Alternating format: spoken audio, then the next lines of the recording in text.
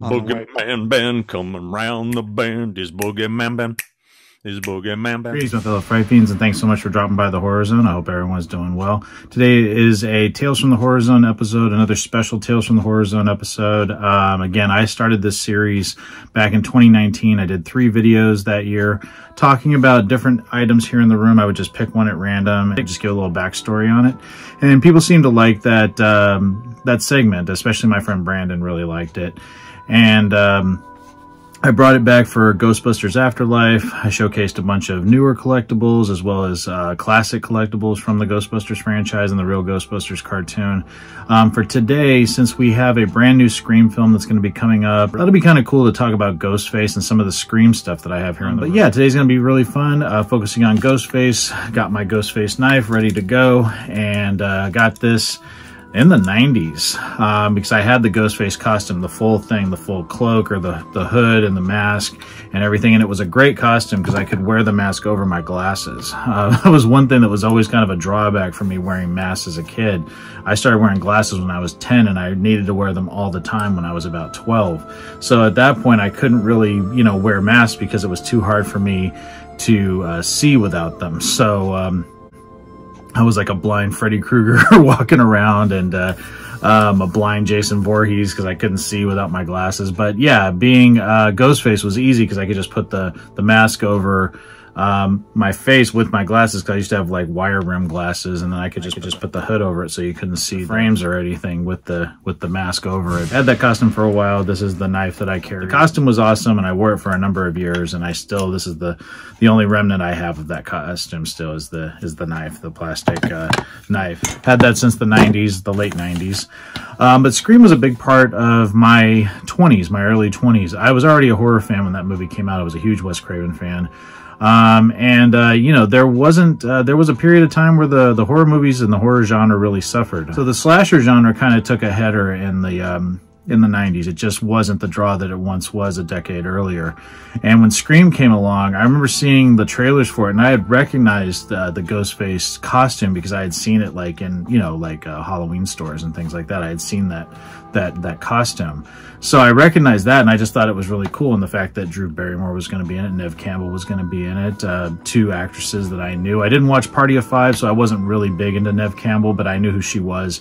And Drew Barrymore, I'd had a crush on pretty much my whole life because we're about the same age. So she's like a year younger than me. So I've always loved Drew Barrymore, and she got really hot in her teen years, and that's when I was a teenager, and I just had a crush on her and was really excited to see her in this movie. And uh, I still remember going to see the movie when it opened in December of 1996 with my buddy Tori, my friend Tori Jones, uh, and uh, was just blown away. And I saw the movie three times in the movie theater. It actually just kept coming back to the movie theaters around me. So like I saw it like again in like February, and then I saw it again in the summer of 1997. So February 1997, summer of 1997, I saw it, and then I knew that they were making Scream 2, so I was really excited to see Scream 2. So, so Scream 2, you know came out in December of 1997. We'd have to wait several years after that one to see Scream 3, which would drop in February of 2000. And then, of course, Scream 4 came out in April, April 15th to be exact, in the year 2011. And I saw all of those films, all of the films I've seen in the movie theater. I can't wait for Scream 5. I can't believe it's been almost 11 years since Scream 4 came out. May Wes Craven rest in peace. I think that uh, the filmmakers and everyone involved with this new film, it sounds like it's going to be awesome from the early buzz. I'm also really excited to do this segment where I talk about some of the Scream and Ghostface memorabilia that I have. Um, some of the stuff is in cases or different areas of the room, so I will take the camera around and showcase some of those. First things I have, I picked up a lot of stuff that, like I said, was behind shelves or in areas that aren't normally seen in some of my videos, or I had them in the horror vault in my office because they are Blu-ray and DVD releases. Um, so the first things I'll pick up, I'll do some of the figures first and then pick up the Blu-rays and DVDs and talk about those. So the first thing I want to showcase is the Horror Mystery Mini of Ghostface. And I got this as a Christmas present in uh, 2014, Christmas 2014. I got this one in Hannibal Lecter. Still remember getting those. Yeah, I got him Christmas uh, 2014. The next thing I want to showcase is the Ghostface pop figure that came out also in 2014. Now this was, there was a wave of pop figures that came out. So you had, um, I pre-ordered them through my uh, the comic book store I go to, uh, Flying Colors Comics. So the first wave, it was Chucky, uh, Pennywise, the original Pennywise, the Tim Curry one, uh, Captain Spaulding, of course, the late great uh, Sid Haig, and Billy from Saw. Um, so they came out. Then after that, like a little time after that, the Sam Pop came out, Sam from Trick or Treat. And then the final one that came out was uh, Ghostface. And I had pre-ordered them all at the same time, but they just got released in different cycles. But he was the last one I got. And this is actually one that was kind of tucked behind my pop shelf here because I have a shelf full of pop figures and mystery minis and he was kind of in the back. And i was like going god not that i forgot about him but i'm like going he's a really cool pop figure. I really like him. Of course these are the early days. I think if they would have done him now they'd make the face look a little bit different. The, the sculpts on these things are a lot different now than they were when they were initially released. I feel like they're getting more detailed with some of the pop figures that are coming out. But I really love this guy, and I'm actually going to display him a little bit closer to the front of the shelf because I just think he's really cool. I should get some lights in here or something. I would probably show him off a little bit better, but uh, absolutely love this figure and happy to bring him out from obscurity in the back of the back of the shelf. Felt sorry for him. Uh, the other thing I want to showcase is the the they were called Mopeez. I got this one in January of uh, 2017 and uh, he's just a sad ghost face. Uh, doesn't have his knife or anything, but uh, just thought he was really kind of adorable. Uh, the other piece I want to showcase that's here on the table next to me is this. I got this in K at Kmart back in mid-September. I got this guy, and uh, he's really cool. He still works really well. He's a little dusty, but he still, this was all from Scream uh, 4 coming out, and I've showcased him in a few videos and I actually showcased him in my uh, the last ranking of the Scream franchise that I did, which was back in early 2014. But here, I'll play him for you.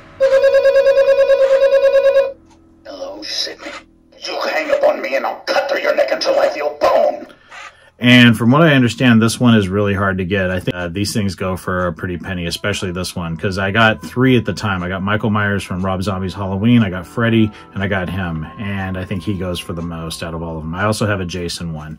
But yeah, he's he's pretty friggin' awesome. And I'll hit one more thing. Hello, Sidney. Uh, friends count, but it's the family ties that cut deep. And he's very philosophical. So, love him. He's an awesome piece. Uh, now to the Blu-rays and the DVDs that I have. Now, I am ashamed to admit I don't have Scream 4 on Blu-ray. I still have it on DVD.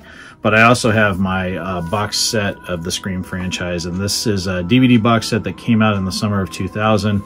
Same year that Scream 3 came out. And this was one that I got at Tower Records. Uh, doesn't exist here in the States anymore. So got the three movies. And then you also have, it's like a bonus exclusive DVD ROM comes with it. it. also has a book that comes with it right there. And it was, I believe, the first box set that I ever got on DVD. It's got a little wear on it, but uh, yeah, one of my favorites that I have in my collection still. Uh, the next ones I'm going to showcase. Now, I got these in September. I got this in September of uh, 2011. Again, the same year that Scream uh, 4 had come out. This is the Scream 5 film set. Now, this doesn't include Scream 4. It has Scream, Scream 2, Scream 3, and then Still Screaming um, that uh, Ryan Turek directed, and then still, and then uh, Scream: The Inside Story. Um, which I actually thought was a better documentary than Still Screaming. Um, but uh, yeah, this is a really cool set. And we got a slipcase, little slip cover there. talks about all the different movies and the documentaries. And then it just has, like, you just open it up and it's got the individual films. So you got Scream, you got Scream 2, and then you got Scream 3, and then you got the two documentaries. Sorry, this is upside down. There you go, right there. I haven't watched some of these docs in a while. The last time I watched them, I think, was when I first got it. And then I have, of course, have Scream 4. This is just the regular old DVD release of it. Right there. But again, a great movie. And I just rewatched it recently. Um, and I watched the original Scream uh, today. So I'm going to watch uh, Scream 2 and 3. Um, and probably will revisit this one as well. I'd like to watch all of them uh, before I see the new films. Because so. I got this in the mail today. I'll showcase it real quick. It's the new Fangoria. It's got Stab as well as uh, Scream on it. Really, really cool. I love this. And uh, there's some really cool stuff in this one related to the Scream franchise. Um, so you got the Scream Legacy. right there. That's really, really cool. Love it. So exciting. Uh, just because I grew up with these films. Just celebrated 25 years since the first film came out, which is really crazy. But uh, yeah, yeah, I can't wait to read this uh, later tonight. So yeah, new Fangoria, got Stab and Scream on it. And then now what I'm going to do is I'm going to go around the room and showcase a couple of Ghostface items that I really just didn't want to pick up and move. Uh, one of them's in my display case over there, um, just because it's just too much trouble to get to. But uh, stay tuned, and uh, I'm gonna pick up the camera and we'll go around the room together. So just give me one second. Okay, over here we have the classic uh, movie Maniacs Ghostface. This one came out in the summer of 1999 and it was part of uh, Series 2. Um, it has the Scream poster with Drew Barrymore. There was another variant of this with regards to the poster. They had some that had, it was like a green Ghostface poster. It just said Ghostface on it. I was trying to get a good angle on it here, but he still has the old classic cell phone from the 90s. See it in his hand right there.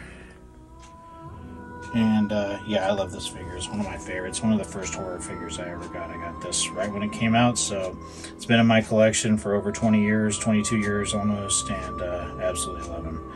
Moving over here, I got my Halloween lights. Them right there. And it's weird because they play the Psycho theme, which makes no sense.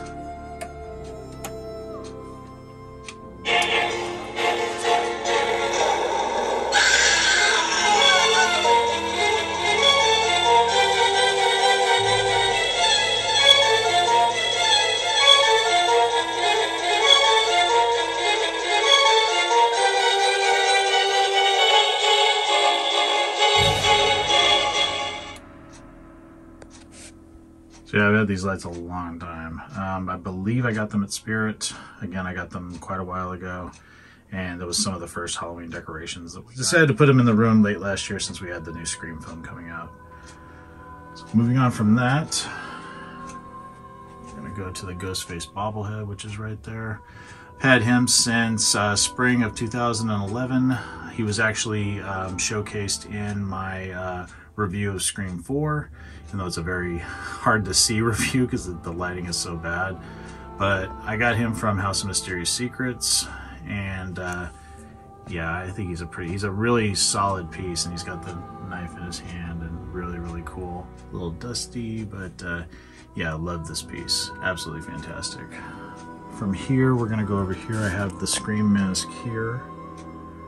That's one of my first masks. That's not the one I used to wear because this was like, the one that I used to wear was just the front. It wasn't the actual hood. The hood was separate. And then over here, it's kind of hard to see. I'll do my best to zoom in a little bit, but I got this figure Christmas time with Christmas money in December of 2014. That's the retro cloth uh, Ghostface figure from NECA. And then the other Ghostface item I have is the reaction figure of Ghostface up there on the wall and I got these in 2014 as well. I have the whole set up there. Hitchcock is the newest one. I got him at Christmas time 2017 from House of Mysterious Secrets, but I have Pinhead, Freddy, there's Ghostface, Michael Myers is kind of hidden behind Jack, Sam, Jason. So yeah, I got the whole set of them. I'll do a zoom out so you can see them all up there. But yeah, Ghostface, that one's awesome. Love those figures. Never got Leatherface, so I'm kicking myself for not having him. But uh, yeah, I love that little set of them up there. So right between the Bride of Chucky standee for the uh, movie Maniacs uh, figures, and then this really close up of Beetlejuice, the Funko Beetlejuice plush.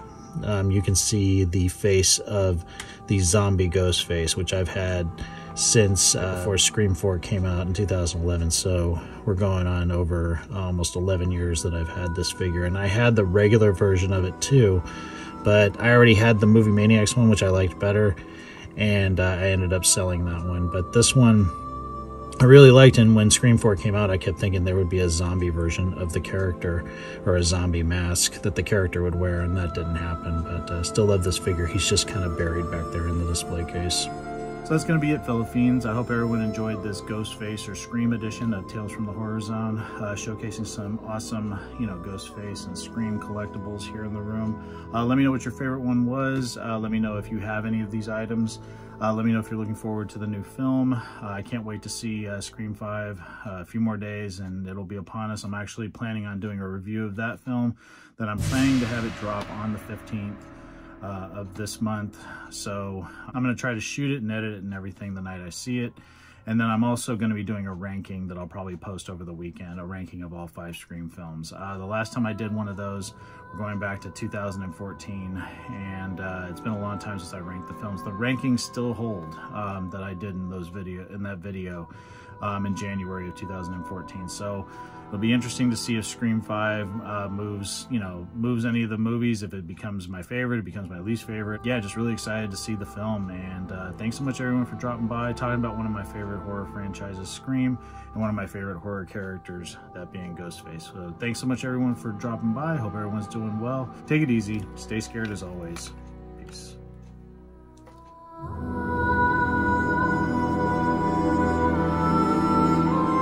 Fright Fiends, just want to say thank you again for supporting Boogeyman Ben's Horror Zone.